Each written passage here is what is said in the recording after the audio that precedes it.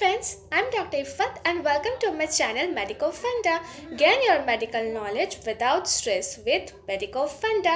তো ফ্রেন্ডস আজকে আমরা জানবো এটার ব্যাপারে তোমরা সবাই জানো যে এটাকে স্টেথোস্কোপ বলে এবং এই স্টেথোস্কোপ কিন্তু আমাদের চিকিৎসা বিজ্ঞানের এক যুগান্তকারী আবিষ্কার এবং বিভিন্ন এর গুরুত্ব কিন্তু অপরিসীম এবং এই যে স্টেথোস্কোপ আছে, তার কিন্তু ব্যবহারের কিছু নির্দিষ্ট নিয়ম আছে। অনেকেই দেখা যায় যে এই স্টেথোস্কোপের চেস্ট পিসটা তার বুকে লাগিয়ে এবং এই ইয়ার পিসটা কানে লাগিয়ে বুকের হয়তো বিভিন্ন জায়গা দেখে কিছু শোনার চেষ্টা করছে। কিন্তু এর আমাদের চেস্টে কিছু নির্দিষ্ট পয়েন্ট আছে, সেই পয়েন্টে সেটা সেট করেই তবে কিন্তু আমরা সেই সাউন্ড বা অসকালটেশন করতে পারি। তো আজকে আমরা এই স্টেথোস্কোপের ব্যাপারে জানব। এর বিভিন্ন পার্টসগুলো এর বিভিন্ন পার্টসগুলো কি কি, এগুলোকে কি বলে, এর নাম কি, এর সঠিক ব্যবহার এবং আমরা এর কিছু গুরুত্বপূর্ণ বৈশিষ্ট্য এই স্টেথোস্কোপের ব্যাপারে আজ আমরা ডিটেলসে ডিসকাস করব। তো চলো দেখে নিই এই স্টেথোস্কোপের ব্যাপারে আজকের ভিডিও তো চলো দেখে নেওয়া যাক। শুধু ভিডিওটা শুরু করব এই ভিডিও শুরু করার আগে তোমাদের কাছে একটাই রিকোয়েস্ট তোমরা যদি প্রথমবার আমার চ্যানেলটিকে দেখে থাকো কিংবা এখনও আমার চ্যানেলটিকে সাবস্ক্রাইব না করে থাকো, তো অবশ্যই অবশ্যই এক্ষুনি আমার চ্যানেলটিকে সাবস্ক্রাইব করো। আর পাশে থাকো বেল আইকনটিকে অবশ্যই ক্লিক করো for get notification of our latest আপডেটও চলো দেখে নিই আজকের ভিডিও এই যে স্থেতোস্কোপের ব্যাপারে। তো ফ্রেন্ডস তোমরা সবাই জানো, এই স্টেথোস্কোপ এটি একটি মেডিকেল ইনস্ট্রুমেন্ট এবং প্রতিটি ডক্টরদের কাছে এটি ভীষণই ইম্পর্টেন্ট তাও আমরা অ্যাজ আ ইন্ট্রোডাকশন বলতে পারি stethoscope is a medical instrument that is used for auscultation or listening the internal sound which produce within the body mainly the হচ্ছে the heart the lungs and the also the bowel আমাদের lungs heart এবং বাওয়ালের মধ্যে যে একটা internal sound produce হয় কোনো কারণে, সেটাকে কিন্তু শোনার জন্য এই স্টেথোস্কোপ ইউজ হয়। নেক্সট আমরা দেখব এই স্টেথোস্কোপের ডিফারেন্ট পার্টস এবং তার ফাংশন তো বেসিক্যালি এই স্টেথোস্কোপের আটটি পার্টস আছে। আর্টসি পার্টস মধ্যে ফার্স্ট থেকে আমরা দেখব? ফার্স্টেরটা যেটা হচ্ছে, সেটা হচ্ছে ইয়ার টিপস ইয়ার টিপসের পরে রয়েছে ইয়ার টিউবস ইয়ার টিউবের পরে রয়েছে টিউবিং টিউবিংয়ের পরে রয়েছে স্টেম স্টেমের পরে হচ্ছে বেল এবং ডায়াফ্রাম নিয়ে যেটা রয়েছে, সেটা হচ্ছে চেস্ট পিস এই হয়ে গেল পার্টসগুলোর নাম। এবার আমরা দেখব ডিটেলসে এই পার্টসগুলো এবং তার ফাংশন তো এবার আমরা ডিটেলসে দেখে নিই এই স্টেথোস্কোপের বিভিন্ন পার্টসগুলো এবং তার ফাংশন তো আমরা শুরু করছি দ্য আপার টপ পার্টস থেকে, যেটা রয়েছে ফার্স্টেই একদম, সেটা হচ্ছে এই দুদিকে দুটো রবারের মতো যে রয়েছে ব্ল্যাক কালারের এই দুটোকে বলা হচ্ছে ইয়ার টিপস এবং এটা বেসিক্যালি যে ইউজার থাকে বা যে ডক্টর যখন চেক করে ডক্টর নিজের কানে লাগায় এবং এটার বেসিক্যালি রাবার বা সিলিকনে তৈরি হয়ে থাকে এবং এই দুটোর ফাংশন এটাই যে আমরা কানে যাতে এই ভালোভাবে প্রপারভাবে ফিট হতে পারে, সেটা করার এবং বাইরের কোনো যাতে আওয়াজ আমাদের কানে না পৌঁছায়, এটাও হচ্ছে কিন্তু এটার এই ইয়ার টিপসের একটা ফাংশন নেক্সট আমরা যে পার্টটা দেখতে পাচ্ছি, এটাকে বলা হচ্ছে এই যে এই যে স্টিলের মতো পোর্শন দুটো রয়েছে দুদিকে, এই দুটোকে বলা হচ্ছে ইয়ার টিউবস এবং এই ইয়ার টিউবসকে দুটো কিন্তু স্টিল বা মেটালের হয়ে থাকে, এবং it helps to isolate and transfer the sound মানে আওয়াজটাকে ট্রান্সফার করতে এবং তার তার কোনো কোয়ালিটিকে নষ্ট না করে, সেটা যাতে স্পষ্ট আমরা, আমাদের পুরো আসল আওয়াজটা যাতে শুনতে পারি পরিষ্কারভাবে, এটাই কিন্তু তার ফাংশন এবং তার সাথে সাথে আমরা যাতে কানে ঠিকভাবে অ্যাডজাস্ট হয়ে সেটাকে হোল্ড করে রাখতেও কিন্তু স্টেথোস্কোপকে হেল্প করে এই ইয়ার টিউবস দুটো।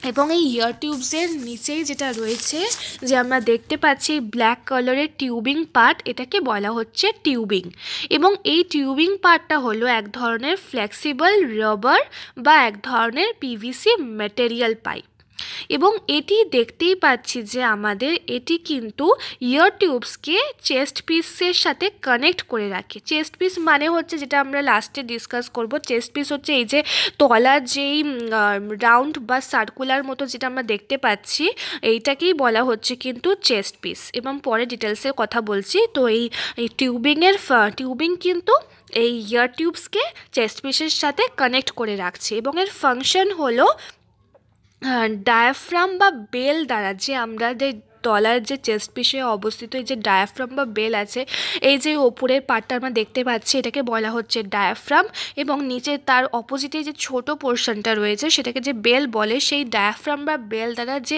আওয়াজটা, যে সাউন্ডটা পিক করে বা ডিটেক্ট হচ্ছে, সেটাকে কিন্তু ট্রান্সফার করা হচ্ছে এই টিউবিংয়ের মেন ফাংশন তা এবং এই টিউবিংয়ের যাতে কিন্তু আরেকটা ফাংশন হচ্ছে সাউন্ড কোয়ালিটিকে কোনোভাবে নষ্ট করে না। আমরা প্রপার সাউন্ডটা শুনতে পাই। এটারও এটা হচ্ছে এই টিউবিংয়ের একটা ফাংশন নেক্সট আমরা এর পরে যে পার্টসটা দেখতে পাচ্ছি, এই ছোট একটা স্টিলের মতো যেই অংশ রয়েছে, ছোট্ট একটা স্টিলের মতো এটা কি যেটা দেখতে পাচ্ছি যে চেস্ট পিসের ঠিক চেস্ট পিসকে টিউবিংয়ের সাথে যুক্ত করে রেখেছে। এই যে চেস্ট পিস আর এই টিউবিং, এই দুটোর মাঝখানে এটা অবস্থিত, এই এটাকে বলা হচ্ছে স্টেম।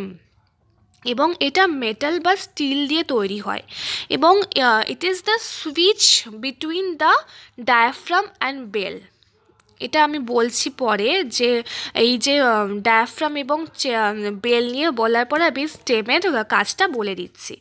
তো এই যে নেক্সট আমরা দেখব যে পার্টসটা সেটা হচ্ছে খুবই একটা স্টেথোস্কোপের ভীষণই একটি ইম্পর্টেন্ট পার্টস যেটা হচ্ছে চেস্ট পিস এবং চেস্ট পিস কিন্তু এই এতে দেখতেই পাচ্ছি এটা আমরা একটা রাউন্ড শেপের এই পার্টটা এটাকে যে চেস্ট পিস বলা হয়। এবং এই চেস্ট পিসটা কিন্তু হচ্ছে পেশেন্টের বডিতে প্লেসড করা হয়। মানে ডক্টর যখন পেশেন্টকে চেক করা হয়, এটাই এটা দিয়েই কিন্তু সেটা পেশেন্টের বডিতে প্লেসড করে সেই আওয়াজটা শোনার চেষ্টা করা হয়।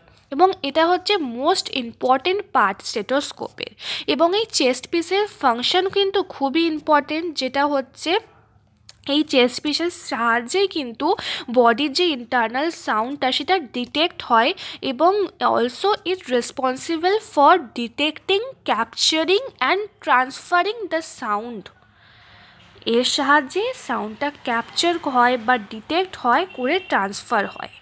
এবং এই চেস্ট পিসের আমরা আগে বললাম, দুটো অংশ রয়েছে।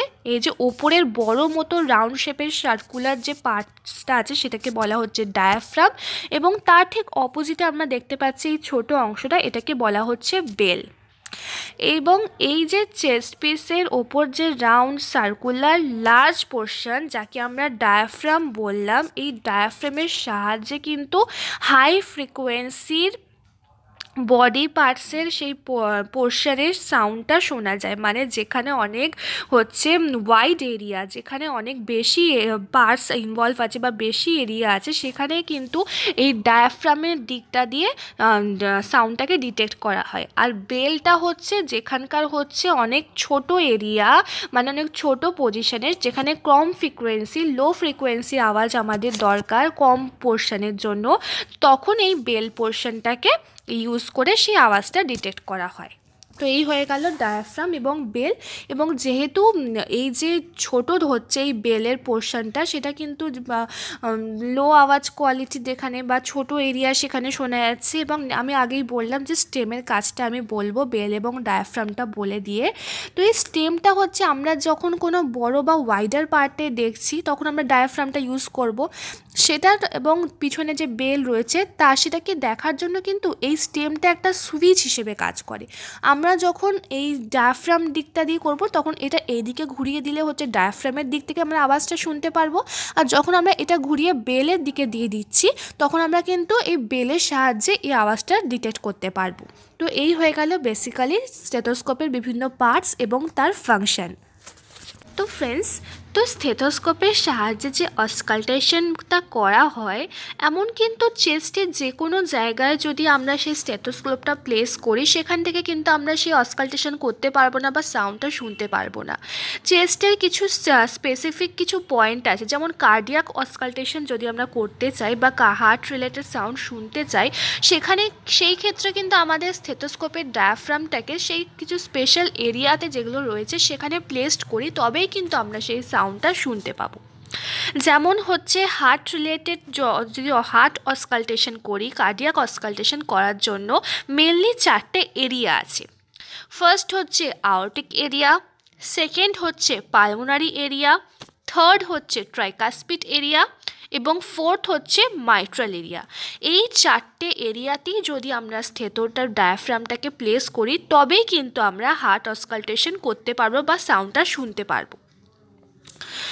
এবং তার সাথে সাথে নেক্সট আমরা দেখব এবার যেই এরিয়াগুলোর ব্যাপারে কিছু তথ্য। তো ফার্স্টে আমরা স্কিনের ছবিটা দেখব যেটা, সেটা হচ্ছে আউটিক এরিজিয়ান আউটিক রিজিয়ানে যে স্পেসিফিক এরিয়া থেকে, এরিয়াতে স্থেতটা প্লেস করতে হবে, সেটা আমরা এই ছবিতে দেখতে পাচ্ছি। এই যে অরেঞ্জ রঙের যেটা রয়েছে অরেঞ্জ রঙের যে স্পটটা রয়েছে, সেটা কিন্তু হচ্ছে আউটিক এরিয়া। সেটা কোথায় রয়েছে? সেটা রয়েছে দেখো ওপর থেকে ঠিক সেকেন্ড অ্যান্ড থার্ড ইন্টারকস্টাল স্পেসে বা এবং at the right sternal border এই যে স্টারনাম রয়েছে স্টারনামের রাইট বর্ডারে এবং রয়েছে সেকেন্ড এবং থার্ড ইন্টারস্কস্টাল স্পেসে। এই স্থানেই যদি আমি স্থেথর ডায়াফ্রামটাকে প্লেস করি, তবেই কিন্তু আমি হার্টটাকে এর হার্টের এই আউটিক রিজিয়ানের অসকালটেশনটা করতে পারব। নেক্সট দেখো লেফট সাইডে রয়েছে একটা ব্লু রঙের পয়েন্ট এইটা হচ্ছে পালমোনারি এরিয়া পালমোনারি রিজিয়ন যদি আমরা পালমোনারি ভালভের কোনো কিছু দেখতে চাই সেটাকে তখন কিন্তু আমাকে এই ব্লু স্পটটা যেখানে রয়েছে, যেটার সিচুয়েশনটা ঠিক হচ্ছে between the second and third intercostal space এবং at the left sternal border second এবং থার্ড একই রকম, একই প্লেস শুধু ওটা ছিল হচ্ছে রাইটে এটা হচ্ছে লেফটে এই পালমোনারি রিজিয়ানে যদি আমি স্টেথোস্কোপটাকে প্লেস করি, তবে কিন্তু আমি পালমোনারি ভাল্ভকে অসকালটেট করতে পারব। নেক্সট দেখো, রয়েছে এই গ্রিন রঙের এই যে এটা রয়েছে। গ্রিন রঙের এটা হচ্ছে থার্ড হচ্ছে এটা ট্রাইকাসপিড ভালভের এরিয়া যদি আমরা অসকালটেট করতে পারি অসকালটেশনটা করতে চাই, তখন আমাকে এই এই প্লেসে আমাকে স্থেতটা প্লেস করতে হবে। এবং এটা কোথায় সিচুয়েশন এটা হচ্ছে বিটুইন দ্য দেখো fifth and sixth intercostal space ওপর থেকে গুনে দেখো first second third fourth fifth and sixth intercostal space যেটা রয়েছে এবং লেফট স্টার্নাল বর্ডারে এটা হয়ে গেল টাইকাসপিট রিজিয়ানে এবং নেক্সট এই পাশে যেটা রয়েছে সেটা হচ্ছে মাইটাল রিজিয়ানে তো মাইটাল ভালভের যদি আমরা কিছু দেখতে চাই, তখন আমাকে এই মাইটাল যে রিজিয়ানটা রয়েছে, যেটা ঠিক রয়েছে কোথায়? Fifth and sixth intercostal space তো রয়েছে, কিন্তু ওপর থেকে এই যে মিড ক্ল্যাভিকুলার লাইনে এইটা রয়েছে মিড ক্ল্যাভিকুলার লাইন যে থাকে, সেখানে যদি প্লেস করা হয়, তবে কিন্তু আমরা মাইটাল রিজিয়ানে বা মাইটাল ভালভের অসকালটেশনটা করতে পারব। হয়ে গেল আজকের ভিডিও আজকের ভিডিওতে আমি শুধু কার্ডিয়াক অসকালটেশনটা নিয়ে ডিসকাস করলাম পরে ভিডিওটা আমি চেষ্টা করব লাং অসকালটেশনটা নিয়ে ডিসকাস করার। তো ফ্রেন্ডস আজকের ভিডিওটি আমি এখানেই শেষ করছি। আই হোপ এই ভিডিওটি তোমাদের ভালো লেগেছে হেল্পফুল লেগেছে। যদি ভিডিওটিকে তোমাদের ভালো লেগে থাকে হেল্পফুল লেগে থাকে, তো এটিকে একটি লাইক অবশ্যই করো। আর তোমার ফ্যামিলি ফ্রেন্ডস রিলেটিভ সবার সাথে আমার এই ভিডিওটিকে অবশ্যই অবশ্যই শেয়ার করো। And don't forget to subscribe my channel bye friends